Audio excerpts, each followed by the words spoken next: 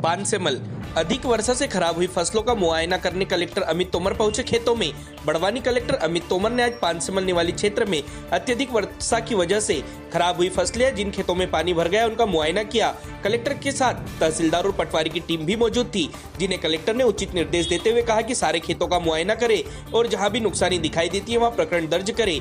ज़िले में अत्यधिक वर्षा के कारण कई किसानों की फ़सलें खराब हो चुकी है और कई खेतों में पानी घुस है, जिसके चलते किसान संकट में है।